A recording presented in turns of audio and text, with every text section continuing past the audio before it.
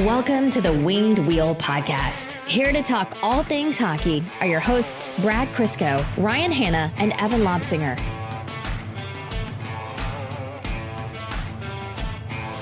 Evan, welcome back. Uh, because you're back, I, I have my first question is for you. What is today's date? Is it someone's birthday? I don't know. Check your calendar and subtract three days. Uh, it is December 1st. That's right, December 1st. I'm not even going to ask when the wreath on the front of your door was was put up Oh, because buddy. I know it wasn't today. The wreath on the front of my door was up 21 days ago. I know. Uh, it's December 1st. You're right. You're on the right path with the wreath. It is, you know, the festive season. It's the holidays. Uh, I, it, I think it's fair game for both of you now. I, I know I'm a little bit more holiday happy, a little bit nutty uh, compared to you two, but December 1st is fair game. Agree? My Christmas tree went up yesterday. Okay, good. Okay, Ours so is going up on Saturday, and that's primarily because we're going to be away next weekend and then the weekend after. And then Catherine's like, well, at that point, if we don't have the Christmas tree up and it's two days until Christmas, we're not putting it up at all. So you got to do it. it's Saturday or nothing. because it's the festive season, I actually have a gift for both of you. It's not for me. This is actually from. You're going to get a kick out of this. And if you're listening on audio, I'll, I'll describe what it is in a second. This is from our friendly neighborhood social Red Wing social media admins. I'll give Brad his first, and you'll you'll understand why in a second. Okay. Brad, Does Brad hate that jersey? Not as much as I now that I've seen the full uniform, but still, it's not great. Okay. Brad is holding a Lucas Raymond Detroit Red Wings reverse retro jersey. Official. Thank you to our friends from the Detroit Red Wings. Did Uh, they get Brad the the children's size that he usually wears? Yeah, we got him a children's uh, large. So smart. So I will say this actually is an adult large. So to the Red Wings uh, both of social you men, can- thank you so much for the compliment. Uh, Evan, you have your choice between uh, Dylan Larkin and uh, Mo Seider. I'll take the Mo Seider. Perfect. I wanted the Larkin. Okay. I was thinking because you know you're a former defenseman, maybe you uh, would relate to it. I that that was my thinking, and I love Mo, but I love the C on these, the diamond C. So Legitimately, that's my favorite part of the jersey. I Yeah. love the diamond yeah. C and A's on those. So to our friends from the Red Wings, thank you so much. Yeah, these are awesome. Uh, I'm going to take a second to put these on. Again, thank you to uh, our friends at the Red Wings uh, wearing these now. So for those of you who are listening, we are now all three of us wearing the reverse retro jerseys, no matter what our opinions were on it. I think it was uh, lukewarm. I really liked him.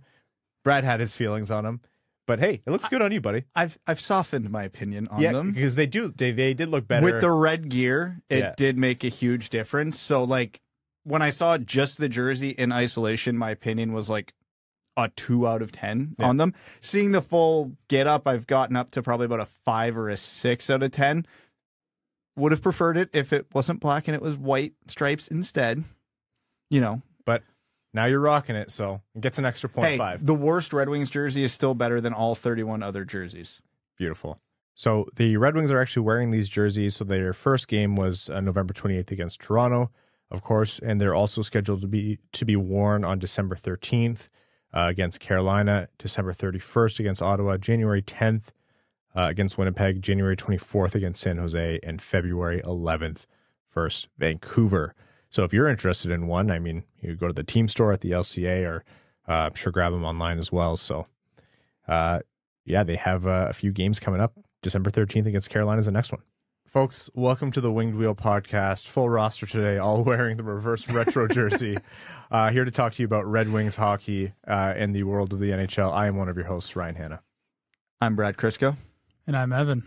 Uh, on this episode of the Winged Wheel podcast, we'll recap the Red Wings' interesting last couple of games uh, against Toronto and Buffalo. Uh, some storylines, good and bad, coming out of that. Bertuzzi's hurt again. Uh, some uh, players with notable performances in, in either direction. Uh, Magnus Hellberg, we have some more clarity on what's happening with him. Uh, Alex Nedeljkovic, it's going to be a conversation now. I think maybe a little bit uncomfortably for some Red Wings fans uh, in the team. And then there's some uh, pretty big stories across the NHL from you know everywhere from Chris Chris Letang to Jason Robertson and and everything in between. So we'll see how this one goes. Uh, before that, I'll I'll let you know that this will likely be a shorter episode. Uh, I am just through the door, not too long before these guys got here. Uh, I actually had the uh, privilege of going to Hot Stove Stories with Mickey and Ken, uh, hosted the event, and I got to tell you, that was way easier than even doing this pod because if with Dan O'Halloran, Wes McCauley, Chris Draper, Chris Osgood, and Ken and Mick there, You just put a quarter in them. yep, nudge them in the right direction, and it was just. I, I said at the event there was uh, there were more stories left on the page than we were able to get through there. It was it was really fantastic. Uh, I just want to give a big shout out to everyone who showed up and all of you who participated in the silent auction as well. Uh, you helped raise some really, really, really good money for the Jamie Daniels Foundation. I, I'll, I won't spoil it. I'll let them announce it first, but uh, you made a huge impact this morning, and uh, you were a phenomenal crowd. And yeah, the stories we heard were hilarious. At one point, I, I tried, uh, I was prompting the Chris's, Draper and Osgood, about the Scotty Bowman thinking one of them was at the bar when they weren't, and, and the other one got basically got them in trouble. And I, I got it mixed up backwards, and I was saying, "Oh, Ozzy, do you remember when you know Draper was at the bar and you were back at the hotel, and uh, Scotty was sure that you were there?" And Chris goes, "No, it was me. I was at the hotel." He's like, "You're just like Scotty." it was great, and you know what? Having the referees there was awesome too. To hear from Dan and, and his experience, and and Wes, who who referees the game right now, is uh, it was a really fantastic event, and um, yeah, I had no work to do. So yeah, your words per 60 was about on par with Filip Zadina's shooting percentage. that is the most apt way, except I don't have to feel bad about that. so, uh, to learn more about the Jamie Daniels Foundation, visit jamiedanielsfoundation.org if you want to join in uh, their fight against subs- substance use disorder. Uh, there's a lot more coming up uh, in terms of our support for them, but just want to give a shout out for that. And I think before we move forward, we are now safe to announce on a main episode the next Winged Wheel podcast night at the LCA, Saturday, April 8th, 2023. It is the game against the Pittsburgh Penguins, and it is our second iteration of the event. Our partnered with the Detroit Red Wings this year.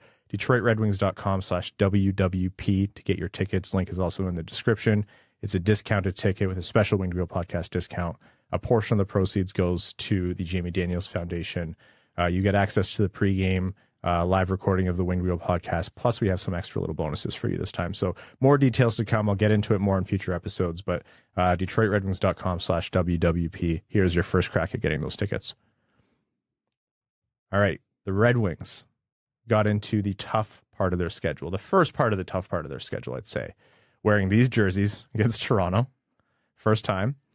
And uh, that was I'll let you kick it off, Brad, but in my mind, that was the inverse Red Wings game based on how they've played the rest of the season. And I know we disagree on that, so I'll, I'll let you go first to, to recap that game for Detroit. This game was probably the best way to describe what the Detroit Red Wings are this season. It was the perfect enca- encapsulation of what this team has become. And I do mean that in a mostly positive way. Toronto, despite all the memes and the history, is one of the best teams in the league right now, and they are on they have been on a prolonged heater going into this game. So it should be no surprise that they beat the Red Wings. But the way that game played out is, like I said, a perfect encapsulation of what this team is. If you look at who controlled the play, how the game went, and what the final result was, it was a fairly even game, with I'd say Detroit having a slight edge in controlling the play. But Toronto was easily able to outgun them. The Red Wings did not have the big guns to keep up with the Leafs offense. And the Leafs, when given chances, have the talent and the skill through a bigger part of their lineup to create offense. I mean, Auston Matthews walks open in the slot. That's a goal 100 out of 100 times. Do the Red Wings have a single player who's going to convert on that shot 50% of the time? The Red Wings, like I said, probably had more control of the game, but they probably had less high danger chances. They generated more quantity, but less quality than the Leafs. And I think that was a simple talent discrepancy because again, you could see the Lalonde effect in this game. The Red Wings did a fairly good job of limiting what the Leafs could bring to the table. They did a good job controlling play. Special teams were okay, whatever that game. And when you look at the overall picture, you have Matthews, Nylander, and Marner on the board. Didn't happen for the Wings because the the Wings don't have a Matthews or a Marner. So I'm not going to say that was a bad game for the Wings. I think this is when you have a team like the Leafs firing on all cylinders, a 4 2 loss is about what I would expect. And the Red Wings played fine. The Red I'd say the Red Wings played good. But until they get more talent in the lineup, however that may be, this is what we can expect. Yeah, see, I don't even disagree with you there. Uh, I, I think you're exactly right. I think the talent discrepancy is ultimately what made the difference. But what was what was funny to me was I genuinely do believe this is the inverse of when the Red Wings would beat a better team or a team at their level. First of all, they started the game off hot with uh, Kubalik and Larkin crashing the net with their with their rush and Seider coming in and burying a puck. Toronto not clearing their crease, and I could hear Evan laughing from his house at that. Uh, so Seider gets the goal within the first five minutes to start. I'm like, great, the Red Wings got a hot start. And then the Red Wings goaltending let them down. That was Ville Husso, very obviously, I think, probably tired the amount of starts that he's had over the last little while. Like he he's played quite a few games. It had been some time since Ned had seen the crease before that. So, you know, Ville Husso had Nashville and Arizona before. Can you even blame him on the first period goals though? That's it. Okay. Nobody's stopping Auston Matthews from that spot on the ice. And then the Nylander rebound, yeah, you probably want to see a bit better rebound control, but that tip I, from Tavares was Yeah, the tip and then Nylander puts it right under the bar. Like what's a what's a goalie doing on a rebound there? Not nothing. He couldn't do anything. I think a good goal I think a goalie on his game probably wouldn't have let four in, those four. Yeah, the Marner goal I did not like at all. No, Marner goal and really the Rasmus Sandin goal. Watch the Rasmus Sandin goal. Uh, screened himself. Glove went in front of his head while he was uh, never go crossbody. You no. never even I'm not even a goalie. I know you never go crossbody. So it, it was an off night for Husso. It is what it is. So the Red Wings control play more or less. They they start hot. Their goalie lets them down. Uh, the other team's goalie is making pretty much every save that they need to make, and uh, special teams fails Detroit, and then they lost. that has not happened this year. Like that is the opposite. That said, uh, I think a, a uh, well, again, how many times have we said are the Red Wings going to regress to the mean when the schedule gets tougher? I, this is exactly what we meant. That's a litmus this, test game. That's, yeah, that's, this is yeah. exactly what we meant. Is Husso going to be that good all year? No, of course not. Not very, very few goalies are, and those that are are winning Vezinas regularly. That's what separates the Vasilevskis from the Hussos, right? Um, other team are Arizona and you know Montreal going to finish on the chances like Toronto did? No, of course not. So the Red Wings can get away with more mistakes. This is what we were expecting when we said when the schedule gets tougher, the Red Wings' flaws are going to be exposed. And it's exactly what happened. But the huge positive here is in years past, that's an 8 2 game. Oh, my God. That That's a game that gets away from them. Toronto's clicking. That's a game Detroit, where Evan's messaging the group chat a period and a half in, going, "Holy shit!" The Leafs, yeah, the Leafs control eighty percent of that game. Yeah, that that did not happen this game. So again, the Red Wings' flaws were exposed for what they were, and that's fine. I'm not even saying that as a bad thing. We knew what they were. We just they were just able to mask them with a weaker schedule. But now their flaws were exposed, and they were still right in that game with the Leafs. Yeah, that is a good sign. I think it was Linda online replied to me, and she was like, this is kind of the loss. Not that you want to see a loss, but this is the kind of loss you want to see. And, and yeah, that's the answer. Yeah, I think for the Red Wings to be a playoff team, moral victories don't mean shit.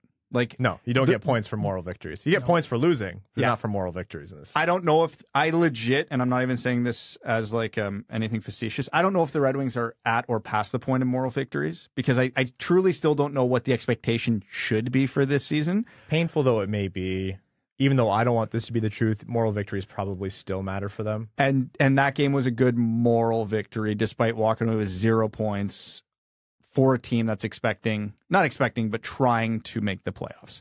So, yeah.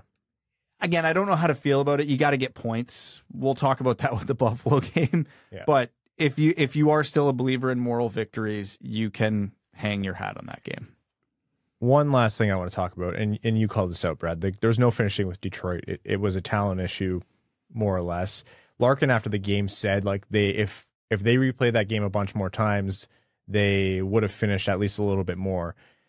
And where I disagree a little bit is is that I don't think Detroit made Matt Murray stand on his head. Like they controlled play and they had points where there definitely were quality offensive chances, but when they needed them, like on the power play or in key moments, I just felt that too often Toronto was able to mitigate the amount of danger in Detroit's offensive opportunities. Again, not the entire time, um, but Detroit kind of came and went. I will say though, at the end, uh, it's hilarious that the two goals were, you know, Mo Seider crashing the net, and the other one, Mo Seider walking the blue line. Uh, the Dirk Nowitzki fadeaway. Oh, I've not seen a defenseman that big shoot a fadeaway shot in my life. That was hilarious. I it was like the footwork and the ability to pivot and step back and shoot like that. If I tried that in hockey, I'd fall, break my tailbone, and the puck wouldn't make it even to the top of the circles. Comparing myself to Mo Seider is a, a fool's task, but like that was incredibly impressive. Probably the lowest danger shot statistically, but hey, something had to go in for Detroit, and uh, it's good that that did, and good for Adam Erne for getting that redirect.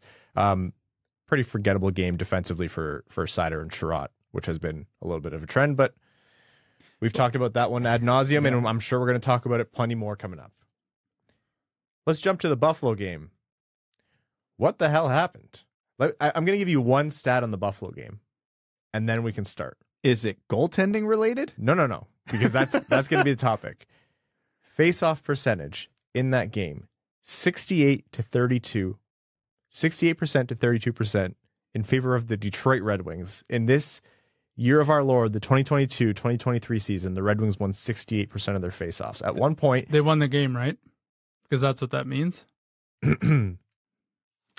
Anyways, folks, thanks for tuning into this episode of the Loading Wheel podcast. Yeah, that game. Hey, the Red Wings started hot, started off hot again. Jonathan Berggren, uh, finishing on the outside, nice finish, kind of through a screen or through sticks, more or less. Hronek on the assist, Veleno on the assist. If you want the perfect example of what's changed with Hronek this season, that was that was the play. That was the shining example because for the last three years, you know that play, the way it broke down, is going directly into that defender's shin. Oh yeah. And instead he holds it, waits, waits, and just five foot touch past it, Berggren, Berggren, for an A plus chance. That is the fundamental difference in Filip Hronek's game this season. And that's how the game started. And we were like, oh, hell yeah, that is the exact start Detroit needed. They're coming in to play Buffalo uh, at home after that Toronto game. Like, that's exactly how you need to start that game against a team where you should be walking away with at least a point. Nedeljkovic uh, was starting this game. He he came in for Husso in relief the game before, and my uh, that was like uh, at a loss for words at those goals that were going in on end. Like that was as bad as the LA performance in my mind. That was the game. You can get away with one or two bad ones every now and then against the Leafs and it be perfectly justified. We've talked a few times about you can't let points slip away against bad teams. And Buffalo is a bad team, make no mistake. They since that shit kicking of the Red Wings a month or two ago, however long ago it was, the Sabres went straight into the toilet. They have been awful. That only gets heightened when the teams around them in the schedule are so good that you look at that game and you go, "We this is where we need to get two points," and then that gets amplified even more when you can isolate the reason you lost that point. Ned doesn't have an easy task this year. He's coming in playing behind Husso, who has been lights out. He's you know, he didn't get the exact framework of games to set himself up to get into a groove, to get into a rhythm at the start of the year on back to backs, tough games, road games, whatever it might be. But at some point, you got to make the save. And now I also want to call out the the Red Wings went into the third period losing 4 1, and that wasn't only because of Ned. Ned let in four goals I, I think two or three, no question should have been stopped. And it's so same story as the game with, with Husso in my mind, although uglier in, in my mind, um, in my opinion, in terms of the goals that went in. But the Red Wings also were out of whack in front of them. Yeah, they started off hot with the uh, with the Berggren goal to start the game, but then you know the end of the game 0 for 7 on the power play. That's what the second time we have an 0 for 7 stat line on the power play this season, something like that. A 5 on 3 at the end of the game to potentially take the lead. Like does one beget the other? Yeah, probably. I'm sure the team was pretty deflated after those goals went in, but at the same time like the team did show up for Ned in the end, and I think that as ridiculous as it sounds to say, I was talking to someone at the game. I said, I know this sounds insane, but after the fourth goal, Ned actually made some pretty key saves and he buckled down. It's just a shame that it got to four goals, both for him and the team in terms of how they were playing and what he was letting in.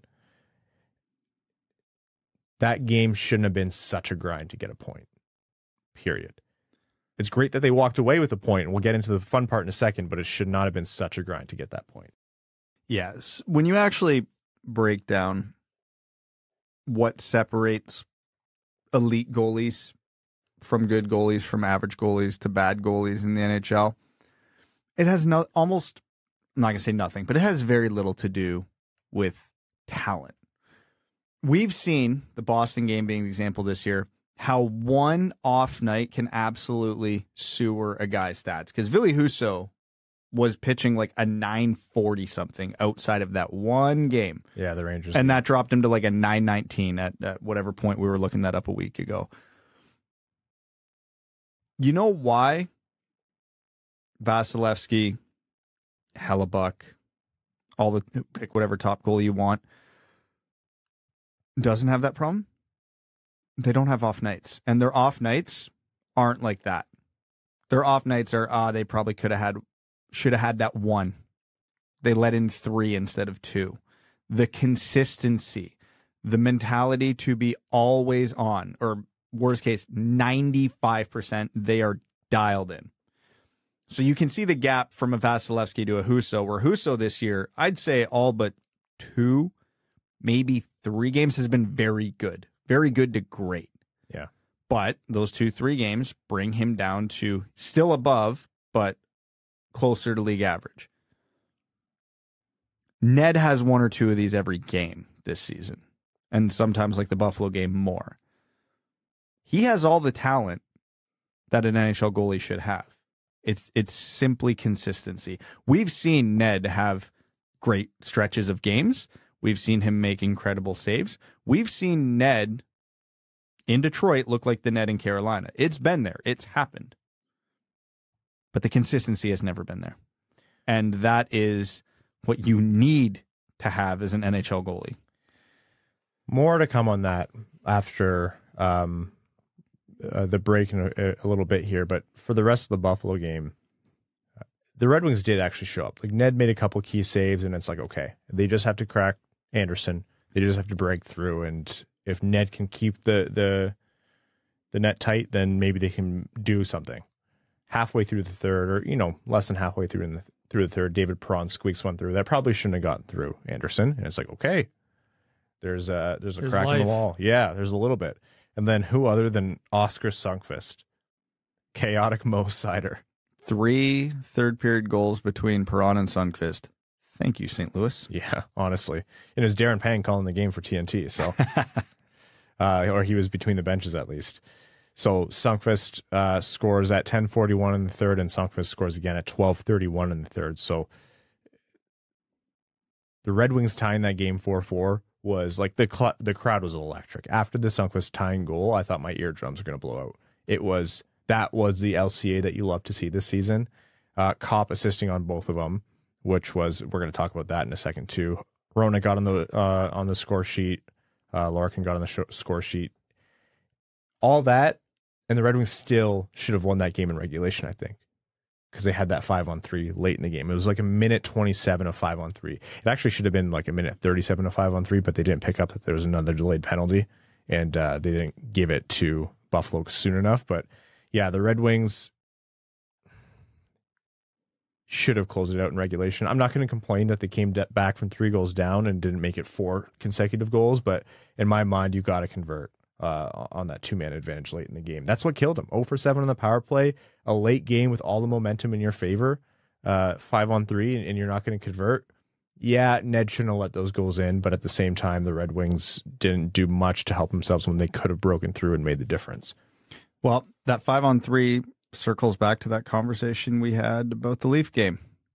You know who doesn't bungle those opportunities? Toronto, Colorado, Tampa, Boston, because they have just Toronto does when it matters, but Yeah. yeah. This isn't the playoffs. this Yeah. is not the first round of the playoffs, Ryan. So my point stands. it's not April, May. Yeah, Yeah, exactly. But it, it's just the way it happens. And, you know, not that the Red Wings are devoid of talent. I'm not saying Larkin, Raymond, you know, maybe a couple other guys aren't at the level of some of the guys on these other teams.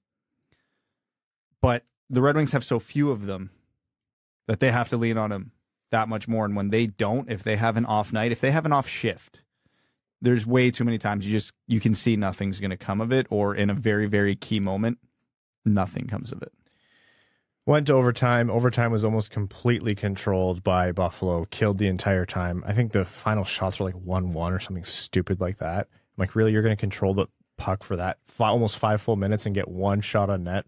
That was the best case. If you ever want an argument for an over and back rule to, to blow the play dead in overtime, use Buffalo's control play there. Uh, went to a shootout. Goalies were uh, perfect. Well, Detroit actually hit two posts between Larkin. Uh, was it yeah, Larkin and Perron, I think both hit the post, and uh, Jack Quinn. Uh, that was a filthy shootout winner. nasty He like ne- he made Ned bite two different times on that. Like Jack Quinn is sick though. He's this is why jack quinn's in the nhl he he is what you would call a specialist Yeah. So the Red Wings walk away with uh, one point out of those uh, potential four uh, from last game till now. Again, not the end of the world. It is what it is. Uh, unfortunately, some other storylines from that game. Tyler Bertuzzi blocks a shot to his hand, breaks something in his hand wrist again. And get this other hand. We're all about balance here Yeah, that's right. Listen, hockey gods, I understand Red Wings fans have been spoiled over the last 25, 30 years. I get that. But what what specifically? Like this is big like screw these guys specifically energy right now. And I understand like there's a lot that goes into you got to be smart about where you take the shots and, and sometimes it's incidental and sometimes you can control it. But of all the players where you're like the Red Wings need this guy playing and they need him playing well for every possible reason, Tyler Bertuzzi is arguably the most important player of that nature on the Red Wings. We know what Dylan Larkin's likely future is with this team. It's just at what number and how long they they want to stretch this out. On the uh, there, there's an off chance that it doesn't work out, you know, long term with Detroit, but the likely solution here is a contract. Tyler Bertuzzi, I think the more likely solution here, as we can see so far, is a trade. Can't trade a guy who's not playing. You can't trade a guy who's not playing well. Or and if you want to sign him, it's hard to sign a guy who's not healthy. It's hard to sign a guy when you don't know how he's playing in a damn contract year. Terrible news for Bertuzzi. Terrible news for the Red Wings. He's back on IR. Czarnik is called back up to the to to Hockeytown, but oh my god, man! Like he came off the bench pissed, broke his stick almost off the boards. I think it was, which I was like, well, don't swing that hard if you have a broken hand, right down the tunnel. But that's uh that's a big knock for Detroit. well what do we do with bertuzzi with this other injury now? Because this is kind of the catch 22 you can't sign a guy who's always hurt. You can't trade a guy who's always hurt.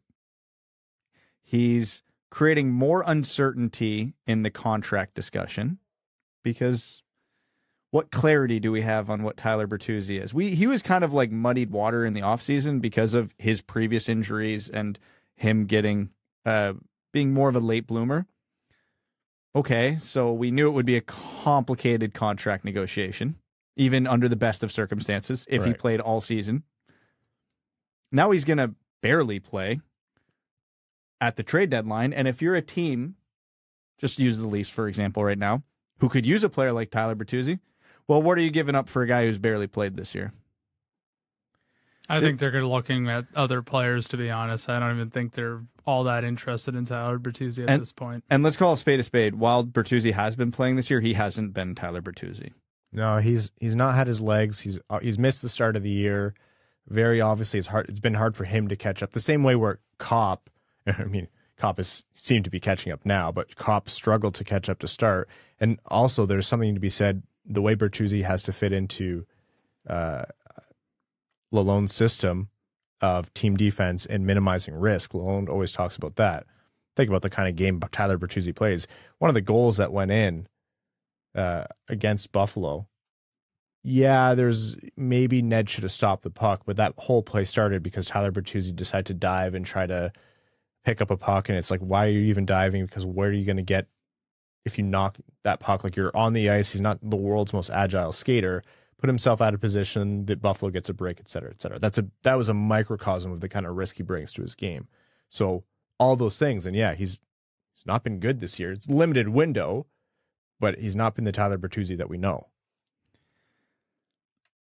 So now when people ask us, hey, what should you do? Sign him or trade him? I think we just throw our, our arms up in the air in exasperation because I I don't have a good answer here. I would love, I would love at this point, unless something drastic changes, I would love a contract with Bertuzzi, a short term contract, which he won't sign. Absolutely not. Nor should he. It's his big earnest, biggest earning opportunity of his life. He's going to try to capitalize on it. Same thing as Dylan Larkin. If you're pending UFA, that's that's what you do. But at the same time, if the most likely outcome, based on all the things that we talked about, and based on the fact that Tyler Bertuzzi has had contentious negotiations with his team every single contract, that he was going to be traded, because you don't want to let him go to to free agency for nothing it's almost an impossible task right now unless you take a big hit on the value. We're getting way too far ahead of ourselves. It's December 1st. He comes back, he lights it up. It, it only takes so much time. Nick Leddy earned Detroit a phenomenal return for him in like 48 hours worth of play. Like it doesn't take a lot of time to convince uh, a GM, especially a GM who's in the right position to trade the right assets for the right player. You know, think about LA or think about whoever you might want to to think about, but right now a lot has to turn around for Detroit to get anywhere close to maximum value on Bertuzzi on either the trade front or the extension front. And both have their massive barriers in front of them for for big reasons. The biggest risk here is that he walks to free agency for nothing, and that would be catastrophic is dramatic, but really, really bad. I think I think the organization would read the room and read the situation prior to the trade deadline and would trade him for anything at that point. Yeah, yeah. And like that's I just suppose, you know, not trading him gives you a little bit more room to continue negotiations, but you've had so long to Yeah. continue to do that and like the relationship ebbs and flows like I just can't imagine them going past the trade deadline and then letting him walk. Like that just from an asset management perspective that does not seem like the right play to do. All right. uh, Well, I'm gl- I wasn't going to bring it up, but you kind of alluded to it there, so it's probably a question worth asking. Say the Red Wings are hanging around the playoff race and like actually hanging around, not like six points out at the trade deadline because we know the actual odds on that. Where's your cutoff for a return on Bertuzzi where you're like, no, you know what, screw it, let's just keep him in case we get in? Like, is it a first round pick, a second round pick, a third round pick? I I don't go lower than a second, but even that would hurt, right? He's not getting a first right now. Not not right now. No, he's he's not. Um, Not unless you can convince a GM that hey, Hey, he's a good old Ontario boy. GMs are meatheads. all right, I'll I'll throw Crazier stuff. Ben Chiarot got a king's ransom. yeah, Crazier things have happened. You know what might actually be a good comparison for very different reasons? Does Tyler Bertuzzi's return in a tr- potential trade is it greater or less than what Ken Holland got for Athanasiou? Two seconds. right now, I right now I don't think he gets right that. now, I think it's less. Yeah, I agree. But you, we're talking about this. The guy just went on IR, so right now is a stupid, maybe a stupid frame of reference. But you know, uh, that's close. I he's not going to have a huge window to pump up his trade value because so he was at what five, six weeks on the first broken hand. So hypothetically, if it's about the same timeline, he'll have about six ish weeks. Let's say he's back January one. Just just to eight make it fast. eight ish weeks to pump up his trade values. So very doable. That's a healthy amount of games, but if it takes him any time to get back to his usual self, if he has that slow start back like he did after the last one, it it, might not be good because let's not forget when Athanasiou got traded the season prior, he had 30 plus goals. Now, obviously, Bertuzzi's got a way better reputation around the league because of the intangibles he comes with, and the he's got more dimension to his game than Athanasiou did. But in terms of production, there wasn't a dramatic difference. I understand Bertuzzi's higher, but Can I say something naive and stupid? Maybe the silver, that's what we're here for. maybe the silver lining is Bertuzzi does this, uh, like he realizes that this season isn't going his way and signs a contract that's more favorable to Detroit in either term or money. Like I said, naive and stupid. There's absolutely Who knows? I have yeah. no idea anymore. Uh, people always ask uh they, they say what do you want personally i'm like when there you have to separate what we talk about in terms of being likely or, or possibilities and what we want personally what i would want personally is for tyler bertuzzi to stay on this team Take five million for eight years. That would be ideal. Do they give tyler bertuzzi eight years right now No, I don't know. No chance. Yeah, but five mil in eight year in six years is like chump change. Yeah, it's like half of it, like half of Evan's salary. that would That's you take right. that discount No, that's why you didn't show but up I'm two episodes I'm I'm ruthless. I never side with the, what the company wants. yeah the checks didn't clear hr evan the hr destroyer lobsinger That's right. that's what they call him anyhow I do hesitate to get too far down the rabbit hole while IR is just starting for him. So we'll see what the prognosis is, how far uh, along he'll be before he returns to the game uh, with the the break in his hand or wrist. But it is bad news for Bertuzzi. It's bad news for Steve Yzerman. It's bad news for Red Wings fans. It's bad news for those who want Bertuzzi signed at all costs, and it's bad news for those who want Bertuzzi traded before he walks for nothing. It is just a bad start all around. And with that, let's go to an ad break. This episode of the Winged Wheel podcast is proudly brought to you by NordVPN. Are you missing out on a game or your favorite show because it's not available in your region? Good news. Let me introduce NordVPN.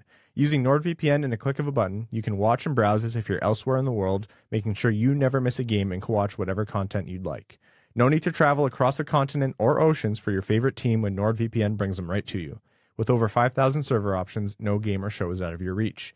Using our special promo code nordvpn.com slash winged wheel, you can receive a huge discount on NordVPN cybersecurity two-year plan plus four free months. We all love to binge, but privacy is a big deal too. NordVPN keeps your information encrypted so you never have to worry about your IP or location getting out. They've also doubled down on keeping you safe with their new threat protection feature. Say goodbye to intrusive website ads and malware. Even if you download an infected file, threat protection kicks in and deletes it before it makes a mess of your computer. Don't forget, there's no risk to you with their 30 day money back guarantee. Give it a try, and if you like it, great. If you don't, they'll issue a refund and you can pretend the entire thing never happened. Check out our special link, nordvpn.com slash winged wheel, to get your subscription started today. All right, Brad, pre show, you said there, ha- there had to be a referendum on a player, and uh, you felt that it was overdue for the fan base to kind of talk about this player. Um, it's an uncomfortable topic, and, and I don't want to be the, the bearer of bad news, so this one's on you. Listen, we all understood he was coming to a new team. He was coming off an injury, surgery, didn't have a training camp. But the referendum is now for Andrew Copp because we have a really good sample size of Andrew Copp and what he is as a player. He is so good. He's good, man. He is really good. That pass to Sundqvist on Sundqvist first goal. How many players in the league make that pass? That was filthy. Behind- Rasmussen, behind the Rasmussen net- tried it a couple times, actually. Yeah, and I'm pretty sure he bounced it off the back of the net every time. oh, well. Copp misses the back of the net, puts it on his tape with Craig Anderson peeking out the other side of the net. I mean, he, you know, faceoffs aren't as impactful as everybody makes them out to be, but he wins the faceoff right to Oscar Sundqvist for the tying goal as well. He's defensively responsible, and the points are starting to come now. He is not flashy. He's never going to be flashy. And I think people are starting to realize that. But flashy and effective are two very different things. And this this guy is effective. with it's like a, a switch flipped when we started talking about Copp's injury. Max Bultman came on the show and said, you know, Derek Lalonde and some other people have talked about the kind of surgery that he had and how long it took players to come back from that. You know, I think everything in, in Detroit Red Wings fandom gets talked about with uh, with respect to Steven Stamkos, but he had some kind of similar surgery, and they said he wasn't himself for nine months. And you, here we are after what 10, 15 games looking at Andrew Copp saying, ah, what's the deal with this guy? And a, a, switch flipped, and all of a sudden his game started eking, eking forward. And like you said, Brad, he's not a world beater offensively. He never will be, even at his best, but he's impactful. And that's, you can see the kind of player that he is. I think arguably, I know Sundqvist put, put in two goals, but arguably he was up there with the Red Wings' best players against uh, Buffalo. And he got moved to a line that with le- argue, like ostensibly less talent on it. Well, when he was with, um, it was him, Raymond, and Bertuzzi. Yeah, They were good. they were good. That was a good line. Um, and we talked about Bertuzzi. So Bertuzzi was not the one driving that line. Obviously, Lucas Raymond was the driver of the bus a lot of that time. But when he wasn't, it was Copp. And now that Copp uh, was put on the third line to hopefully get Sundqvist and um, was it Ernie going again? Well, against uh, the Leafs, Ernie scored, and against uh, Buffalo, Sundqvist had two. Andrew Copp, again, you don't want to marry a player to a, a, a predetermined path with the team this early on, but it bodes well. I think when we were talking about him before, saying it's a slow start, and yes, he's been disappointing, but he's been injured. This is what we need to see next for there to be optimism in terms of what he could bring to the Red Wings, considering his contract, the length, and the number. He has done that XYZ. He has done enough to give the Red Wings that optimism. And holy hell, is that important now with, you know, Elmer Soderblom's not close to coming back. Tyler Bertuzzi is now back on IR. No offense to Austin Czarnik, but he's not slotting in that top six. Or if he is, it's not because he's a top six player. It's just because Derek Lalonde's trying something. It's important that Andrew Copp is one of Detroit's most impactful players, and that's what he's been doing. And with, you know, Kubalik, Larkin, and Raymond, or whoever it might be on that first line, getting the toughest matchups and sometimes getting caved, which we've been seeing a little bit lately, uh, that is even more important for the Red Wings. They're not a deep offensive team. They're not all of a sudden like Copp is still their two C, and you'd hope he's their three C because they have someone in in and around Larkin's talent level. Which I don't know what, where you get that from at this point. Like a trade, uh, you hope Kasper comes in next year and is immediately impactful, whatever. But Copp is one hell of a stopgap, and if he's able to elevate the players around him this early on, that's a huge, huge, huge win for the Red Wings and Steve Yzerman. He is more than capable to be the guy until the guy gets here. Yeah. Who the hell ever that might be. And that's that's by design. Like that's what he was brought in for. Okay. Imagine a team where Andrew Copp's your 3C. What do you think? Like Larkin, uh, Kasper, Copp?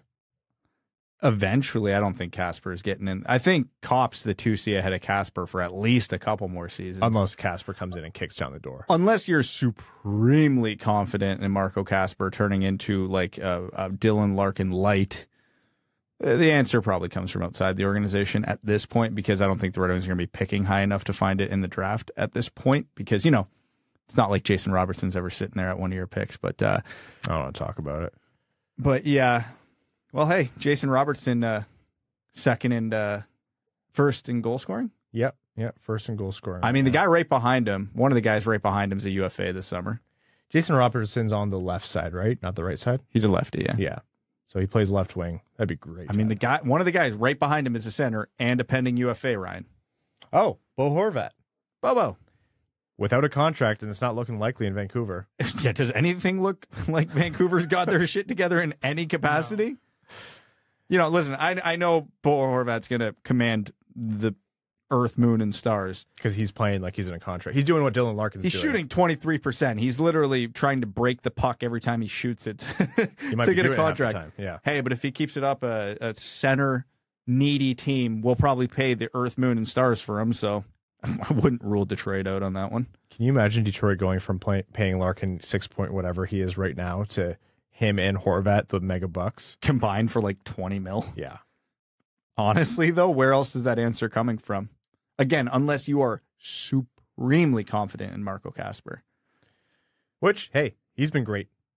Yes. With Rögle. Oh, I'm I'm super confident Marco Kasper, but not as a Dylan Larkin. And not next year. No. Okay. Let's move on. I think that's uh, that's getting into a rabbit hole that we probably should give attention to in a future episode. But for now, there's there's things that actually happened for Detroit. Uh, remember when they claimed Magnus Hellberg on waivers? This is second stint with Detroit. Feels like that was three weeks ago. honestly. And he just sat in the press box, sat scratched. Brad, you, you had a great uh, explanation last episode as to how, or two episodes ago, as to how they could do it.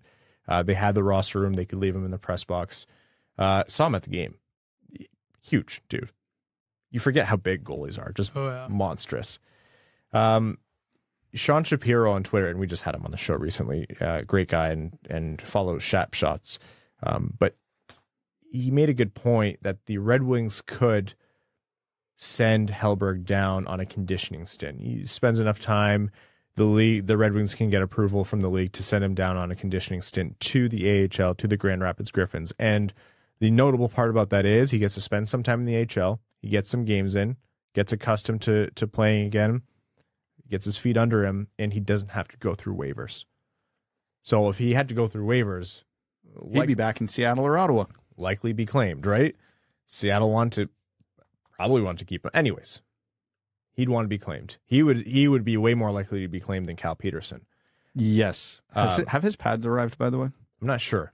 He But needs I- to keep all of those on him at all times, apparently. Yeah, they were they were back in Sweden, but uh, I hope we see them uh, at least with his little conditioning stint in Grand Rapids. So he's sent down and he can be called back up uh, to play for the Red Wings immediately. He would just have to stick on the roster if he did so. So the Red Wings and Steve Yzerman have bought themselves some flexibility in goaltending. Um, I don't think they're too hot on Olkinuora down in Grand Rapids. It's not like Brattstrom has been playing great either. Um, but yep, so Hellberg dodges waivers, uh, does his conditioning stint. That's, you know, news in and of itself, but I think that also points to one other thing here. That's a pretty major point of focus for the Red Wings. Alex Nedeljkovic, going back to the start of last season, has not been like I, I would say November to de- early December-ish of so 12 months ago of last season has not been dialed in and you know as hot as he was to start. Not the Carolina Alex Nedeljkovic. He's been bad this year. I love Ned. I I think he's an extremely talented goalie. I would love a Husso Ned tandem that absolutely rocks it for Detroit. You have some very smart goalie people who say that guy has all the tools to succeed. Kevin Woodley knows his stuff and said that is a you know at the very least an above average in terms of talent goaltending tandem. But he's not been good this year. He's been off his game. Some games I, I don't think is that's much his fault as uh, people say it is, and some games I'm like I don't think there are words to describe how much those pucks should not have gone in. And I think of LA and I think of the Buffalo game. Are we seeing a risk where Alex Nedeljkovic might be waived if Alex or if Magnus Hellberg plays well and, and is doing well in his conditioning stint, or you know they move him for cheap or whatever it might be? Like, does he is is the crunch time now? Does he have to pick it up right now to stick on this team? Without being alarmist, I'm going to say yes. Not because I think the Red Wings have hit any alarm bells, but claiming Hellberg kind of was hitting an alarm bell. Again, when it happened, understanding there was a very, very small chance they would ever be able to get him through Grand Rap to Grand Rapids without it being just a conditioning stint. Because again he would have to clear waivers to stay down there. And again seattle and ottawa would be right there. The curious part was what was the long term play here because we all knew about the flexibility in the short term. They didn't bring hellberg in because of husso they didn't bring hellberg in with any certainty that he was going to be grand rapids help so that really does just point to one thing. And when you do have a struggling goalie in the last year of his contract, at at most it's plausible. and I think that's where it's sitting for me. Is I this is no longer in the territory of this would be a massive surprise.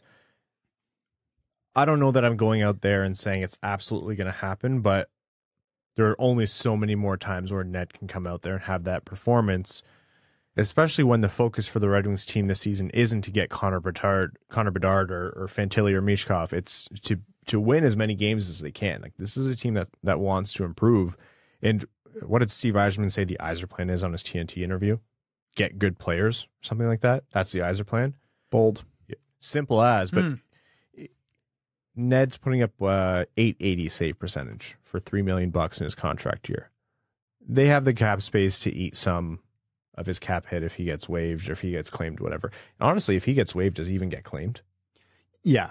The Leafs signed Yeah. Keith Petruzzelli for God's sake. Yeah, Someone would- will take a, a roll the dice on uh, uh, Nedeljkovic. I don't think he hits waivers because there are enough goalie needy teams out there who would be desperate enough to trade for him, call it a sixth or seventh round pick. Yeah. Still better than losing him on waivers. Um, maybe there's a team that really likes Nedeljkovic and with a bit of salary retained, all of a sudden maybe you're actually getting a d- half decent return for him. I- I'd be hard pressed to think there's not a team out there that would not be intrigued by one uh, 1.5 ish million dollar Alex Nedeljkovic. So what do you think? They just scratch him, put him in the press box for a while? For all the reasons we laid out with Hellberg last week, it could just as easily apply to Nedeljkovic. Now with Bertuzzi going down as well, Yeah, that buys space. that buys space. The Red Wings are Well- not going to run into an issue where they can't carry three goalies because of healthy scratches. Because if you waive Robert Hagg right now, is he getting claimed? No. No. So they they have lots of flexibility in terms of carrying three goalies for as long as they need to. And I and we said this all before the Bertuzzi injury. When we assumed Soderblom might be imminent to return, which doesn't look like the case anymore. All these injuries suck, and it's crazy to actually look at when you start piling them up. But the benefit is they have all the time in the world to be patient with all three goalies if they so choose. LA almost had an easier time, so they waived Cal Petersen. Cal Petersen has this season and two more at five million dollars with a modified no trade clause. Whoops. Yeah, that You can already see Arizona licking their lips right now. Well, he cleared waivers in LA. LA was there. They probably had two thoughts. One, this might be a terrible contract and whatever. Someone might take it at which point they're doing us a favor. Or two, look, we're not giving up on Cal Petersen, but he needs a a message and b some time with uh down in in the Ontario? AHL with Are the? Ontario Yeah. Reign. So no, like they can do that comfortably with Ned it's a different story. You're right. He might fall into the territory where people watch his game, and and this is where I fall. They say, "No, it's still a talented goalie. His head's just not on straight right right now." Goalies are are mental in every single way. They are absolute nutcases, and they when they're in a groove, they're so dialed in, and anyone turns into a Vezina goalie. And when they're off, you're like, "Oh my god, you look like Evan out there." uh, Recording a podcast at 9:57 p.m. Yeah. You should have been at the breakfast this morning. That was the witching hour for you. Jesus. That was. I The told only time I've been up that early is for golf, and other than that, there's no reason for me to exist at that time. I told the room, I said, bunch of, you guys sold out a room to watch a bunch of hockey players struggle to to be their best selves in the morning. That's how I know you're dedicated to this good cause. Good Oh for yeah. you. Chris Draper is just wearing a foam dome filled with coffee. Oh, hey, Chris. Chris was the uh, the most awake, alert, alive of all of us. He strikes me as like the Yeah. 5:30 gym guy. Ozzy sat down. I was there just putting my notes together, and Ozzy sat down, and I looked at him. and I was like, "Morning person too, eh?" He's like, "Oh yeah." but no, it, with the Red Wings with, with Nedeljkovic, it's uncomfortable, right?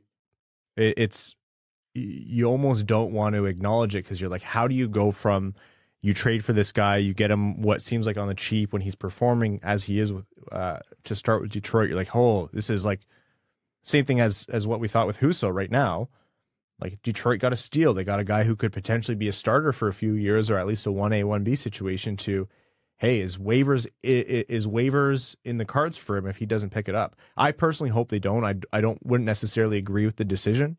I think they should stick it out because I've seen the talent there. But you can only ask Steve Yzerman to stick it out for so long if the Red Wings are losing points off the board because Ned isn't stopping pucks. You can only throw a guy out there so many times before you gotta you gotta pull the shoot in some capacity. Yeah, like, it's a it's not good for him because nobody wants to be out there and getting absolutely shelled, and b it's not good for the team. Like No. you got to do something. the and the the start that he got right two home games first one against the leafs that's a tougher matchup you give that one to husso even though husso was probably tired by that point day off another home game against buffalo who has not been a good team this year yeah tage thompson's unreal uh, they have some players who can do some damage there but all in all buffalo's a way weaker challenge than toronto that's the start ned wants that we can do all the complaining we want of you know ned hasn't had the best setups, that was a great setup for Ned. Wasn't a back to back, and it was a home start against a weak team. Completely random tangent that you brought up Tage Thompson. Do you see his goal against Tampa? Oh my god. Oh my! It's like he signed that contract. He heard everyone's criticism, ours included. Not of him as a player, just about the risk. The risk in the contract because he was unreal. You know, in the season before the contract, is just do you guarantee that kind of money for a guy who only did that once? Yeah. And he went out there and said, "Oh, I'm not going to do that again. I'm actually going to be even better." Yeah. He's like, oh, oh, you think I'm worth that money? I'll show you. Tage Thompson is like Michael Rasmussen's frame with Patrick Kane's hands. Yeah, it's it's almost like it sounds like hyperbole, but it's like that's it's what it is. It, he's like sick. he had a spinorama backhand toe drag around the goalie from behind the goal line, bring it out and tuck it. Like I don't use this word a lot, but that goal was erotic. yeah, it was. That is disturbing. Evan is out the door. Evan's like, I wish I took more than two episodes away. Did from you see the goal? It was disturbing. That's Alex Nedeljkovic. Uh, I hope, I really hope this is one of those conversations we have that looks absolutely stupid soon. He gets another start. He comes out. He's The on Tage fire. Thompson effect. Yeah, yeah, honestly. Uh, and I, I wouldn't be surprised, but it would things would have to turn around for him. Granted, he was solid after such a stupid thing to say about a hockey game, but he was solid after the four goals he let in, most of which were softies. But he was. He made some key saves, and, and that game could could have been even worse. if He buckled down, but he has no choice but to buckle down from here on out if he wants to stay. Some NHL news. Uh, scary moment. Chris Letang was announced that he had his it was second stroke, um, and so he's away obviously from hockey indefinitely. And you know he has a history of uh, this kind of medical condition, and you hoped that it would not arise from again. And the most surprising thing, like he's he's doing well, and the most surprising thing is that it's not expected to be career threatening. He's expected back this year. They said it was less severe than the stroke he had in 2014. That's remarkable. Great news as far as bad news goes.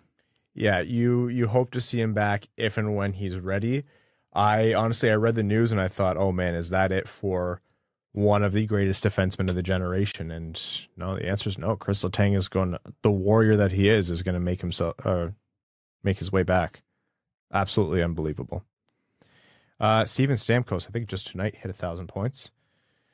But uh, why don't we talk about not the NHL scoring leader? That's Connor McDavid. But why don't we talk about a certain left winger? Not Alex Ovechkin.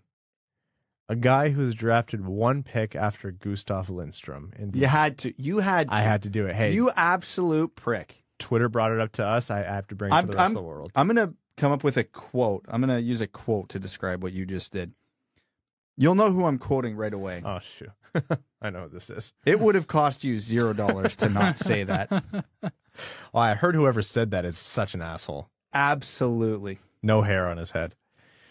Uh, Jason Robertson through 23 games has 19 goals, 17 assists for 36 points. I understand Dallas didn't get the term on the contract, but they already have that guy at a steal. He didn't even go to training camp. He just showed up and did that. Here we are, like ah, Bertuzzi, Cup didn't play. Yeah. Jason Robertson is an absolute freak. He is making 7.75 for the next four years, and I think that's going to be a steal for Dallas for all four of those years. Dallas's cup window is now three years because he is taking every bit of salary cap space they have on his next contract. Second only to Connor McDavid uh, in points through 23 games. McDavid has 41. Obviously, he's doing Connor McDavid things, leading the league in goals with 19. I talked to people who played with uh, Jason Robertson or, or coached actually, and all they've said the entire way through his career has been, "No, this guy's the truth," and that was underselling him. He might be the poster child for why you don't overthink production No, in juniors. Like, oh yeah, his skating's a little wonky or X, Y, and Z. Yeah, but he's scoring 217 points. Like, it helps. It certainly helps.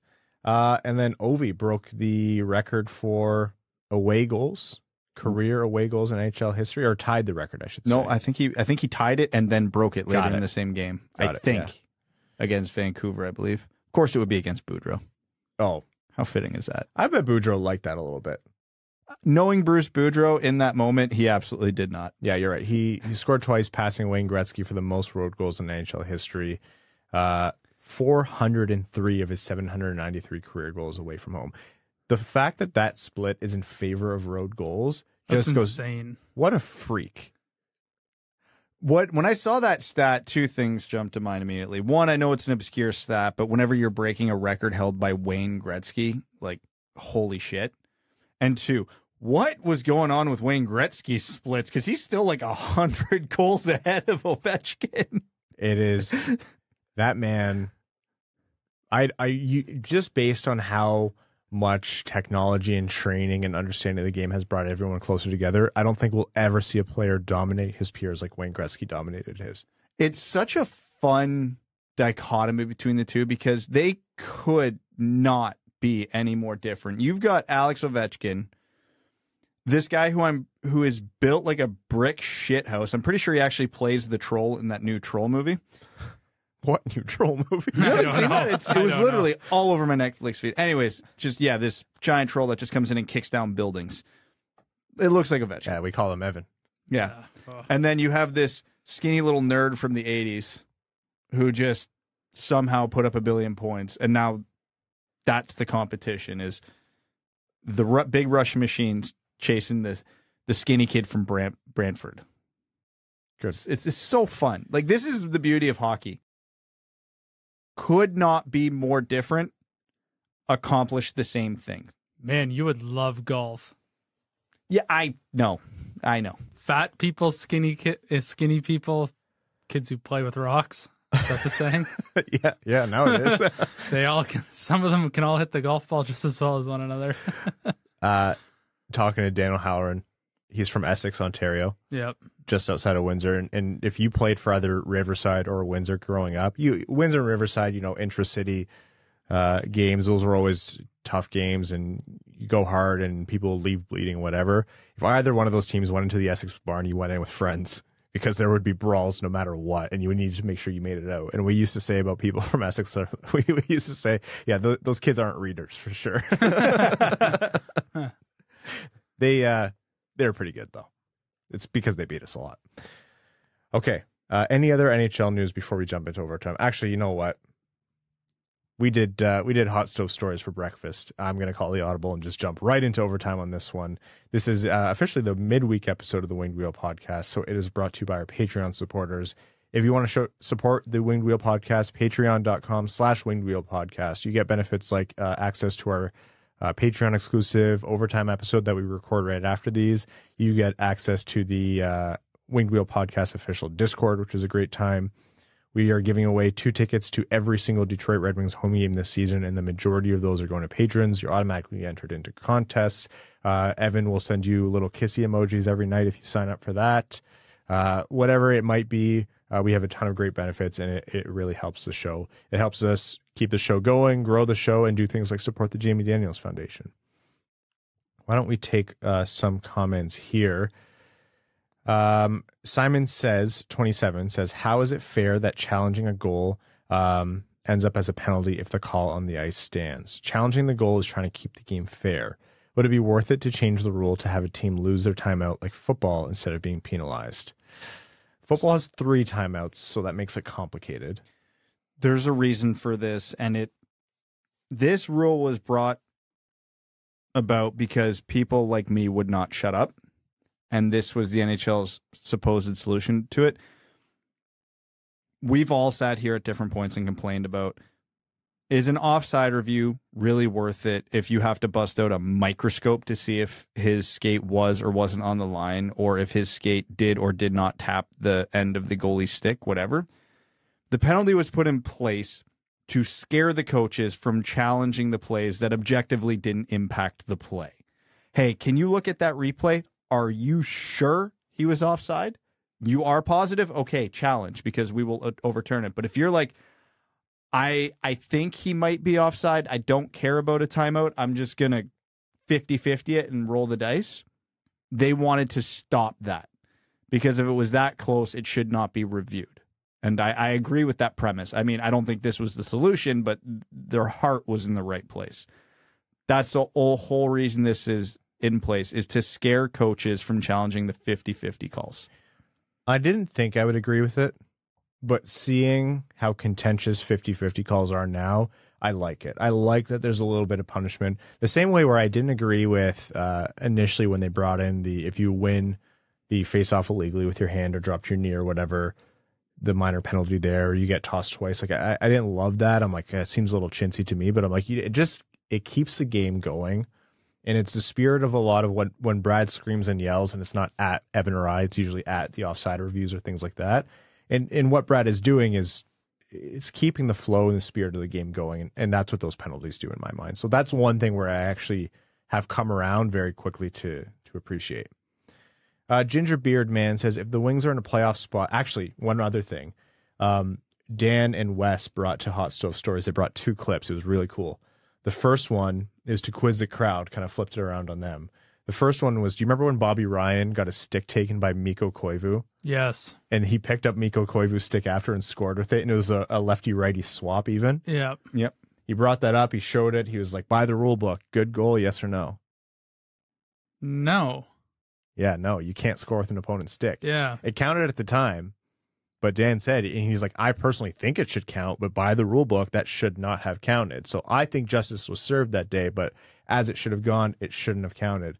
And then they were talking about offside reviews, and they showed that uh, that McAvoy very smart non-touch up to let his teammate tag up, where he pushed the puck over the line, didn't touch the puck, his teammate tagged, The Cale Makar, Valeri Nichushkin play in the playoffs last year. But McAvoy's was McAvoy's was so fast that in in real time that is like one of the hottest calls a linesman has ever made. First sentence, first time that sentence has ever been used. Um, compared to, but compared to the Makar one, that may as well have been as as clear as the Duchene offside that one day. But they showed that clip. The majority of the crowd and the people who are in that crowd, you know, hockey fans. If you're if you're waking up that early in the morning to see a bunch of hockey meatheads talk, you're hockey fans. The vast majority of that crowd raised their hands and said that was an offside play.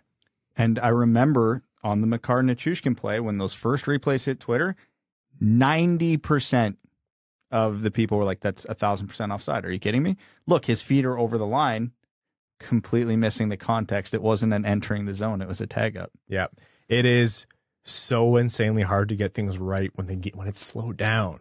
And at game speed, the fact that the lines get it as right as correct uh, as often as they do, I think that's really underappreciated.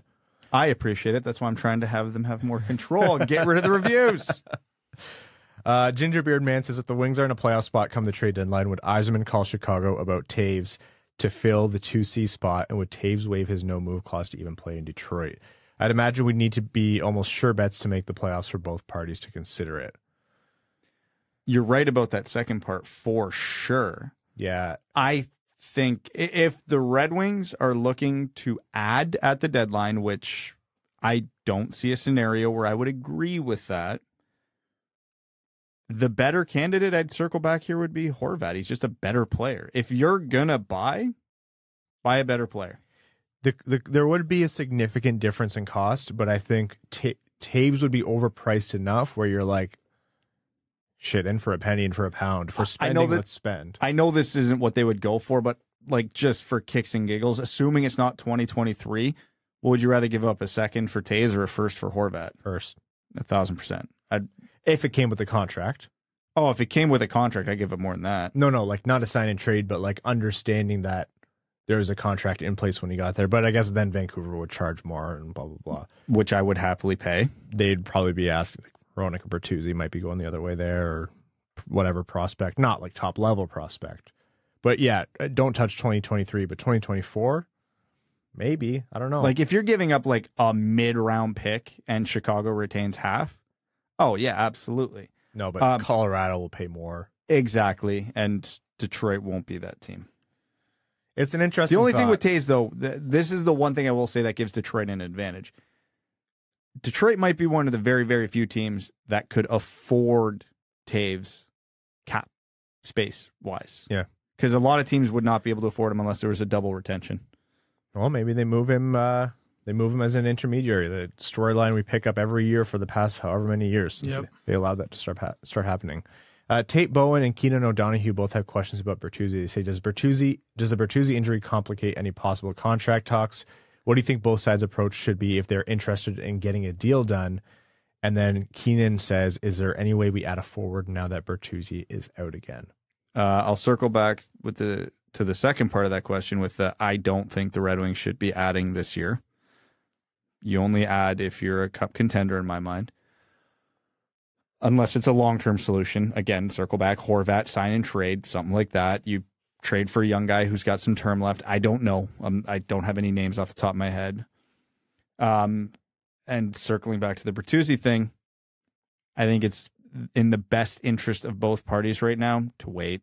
Yeah. You can you can ride this all the way down to the deadline, no problem. And if you get another six to eight weeks of Bertuzzi playing by then, it should hopefully provide a bit more valuable context and information. Yeah, you're hoping that the worst of the Bertuzzi's situation is right now that we've seen it, and that he's able to come back from this. And again, we uh, we Tage Thompson that conversation. It looks stupid in retrospect because he's comes back as unreal and either signs an amazing contract with Detroit or Detroit finds a way to make the most value out of um, out of that asset. Matt McKay says, "Hey fellas, after watching the Wings game against the Leafs, one thing I noticed was our lack of a true superstar like a Marner or Matthews. Is there any way that uh, is there anyone that would be of that caliber that the Wings could sign or trade for, or is that only found through the draft? Thanks for all you do, Matt." How patient are you? In about a year and a half, I think there's an Auston Matthews available. Yeah, I was gonna say. Look, Detroit would be further down that list of teams who could afford of the teams who could afford him. Detroit would still be near the bottom of the teams who could possibly acquire him. You know, Toronto at the top, Arizona up there as well. But when someone of Auston Matthews' caliber comes up as a UFA, you're not ignoring him as a GM. Just so people know, don't get your hopes up, but know that Yzerman's making the call. Again, the one advantage the Red Wings might have over other teams. Again, I don't think they're the favorite. I agree with you fully. But not a lot of teams are going to have 15 mil in cap space. Detroit might. Arizona will have 20, Yeah, whatever, that- whatever the a- max percentage is. it's hard. It's not impossible to get those players elsewhere. You know, you take advantage of teams who are being impatient with with uh, young players. You take advantage of situations like weird situations like Vegas did with Jack Eichel. It's not impossible, but it's extremely difficult because teams know what they have. Look at what Buffalo did with Tage Thompson. They look like they're proving everyone to be idiots because they're like, no, we know, we see this guy better was- than everyone. That was the Ryan O'Reilly trade, wasn't it? Was it actually? I think it was. Mm. It's amazing how, like, remember how fleeced Buffalo was on that trade, except now they weren't? Remember how fleeced Ottawa or Ottawa was on the Erik Karlsson trade, except now they weren't? yeah. Although that one kind of has come back around again. Yeah. Yeah. T- Berglund, Sobotka, Thompson. Yep. Time, time does funny things to perspective. It really does. It is that it's so reactionary and like in the business that we're in by nature, a a an insane proportion of our takes, so to speak. Neutral though they maybe are gonna end up being cold. Because you just don't have that length time length perspective. So you have to be patient with those kinds of things. Mind you, some there's also a lot of things that are bad from the start to end. It does happen. a lot of UFA contracts with the Red Wings' previous general manager, for example. But hey, Can't think me. of any. Don't know what you're talking about. Okay, folks. Uh, thank you all so much for tuning in. Uh, thank you all for your support of Hot Stove Stories with Mickey and Ken. Uh, for those of you who came, who bid uh, in the auctions, you raised fantastic support for the Jamie Daniels Foundation. Go to jamiedanielsfoundation.org. Visit uh, wingedwheelpodcast.com slash wings MOTB for wings money on the board information. Go to detroitredwings.com slash WWP uh, to get your tickets to Winged Wheel Podcast Night at the LCA in partnership with the Detroit Red Wings. Uh, all of our listeners, new and old, we appreciate you tuning in. The sponsors of this episode, NordVPN, thank you. NordVPN.com slash winged wheel. Uh, and we'd like to thank all of our name level sponsors on Patreon Argent Shanker, Eves Bartels on behalf of the Sarah Grand Foundation, Akefer, Armchair GM slash Genius, Nick Perks, Terry Driver of the number 69 Crying Ryan Hannah's Banana Slam at Jamathon, Glenn Brabham, Matthew M. Rice, Croner's Left Knee, Brandon M., Carl, Brutinen and Aluski, Chimmy, Chris Ball, Chris P., Citizen High Five, Connor Scovey, Coyote Season Tickets in Tempe, Derek Enstam, DJ Denton, Evan Lob Singing, Mash Bringing, Hash Slinging Slasher. Been waiting for you to hear that one. You don't like that one? My God. Give Blood, Fight Probert, Red Hot, Hronek, Hassam Al Qassem, Jay Gollum, Jacob Turner, Joseph Barry, Kalen Wood, Kevin James, King Tone, Las Ensaladas Picantes, Marcus, Matt McKay, Nedeljkovic goalie number one, Nicholas Fritz, R.A., Ryan Hubbard, Scott Martin, Send It Seawolf, The Podcasting Couch, Venom, Worst Ryan, Zachary Rogers, Venom. Thank you so much for becoming a name level sponsor. Um, General Andy Bohan of the Cheesebag Army, Zachary Rogers, in case I missed it, Sam Bankson, number one Detroit Red Guys fan, Adam, I wish I could finish like Ernie, uh, Antonio Gracias, Babe Landeskog, Ben Barron, Brad Simmons, uh, Brian Vasha, Connor Leighton, Darren Fick, Philip Zadiz Nuts, Ronix Handlebar, James Laporte, Jeremiah Dobo, JM Rhapsody, John Evans, John Engels, Josh Yelton, Kevin McCracken, Quaz, Linda Hull, Logan Burgos, Matt Keeler, Matt S., Loyal Soldier of the Cheesebag Army, Maximilian, Melissa Erickson, Reed Baldwin on behalf of the Reed Baldwin Foundation, Thick Rick, and Aaron Hudson. Thank you all so much. I am going to sleep. Thanks for tuning in to the Winged Wheel Podcast. Be sure to check out wingedwheelpodcast.com, where you can subscribe to the show on iTunes, Spotify, or wherever you get your podcasts. You'll also find links to other ways to support the show, such as Patreon, official podcast apparel, and more. And don't forget to follow the show on Twitter at Winged Wheel Pod. And of course, the hosts at Brad Crisco, at Ryan Hanna WWP, and at Hockey Town Evan.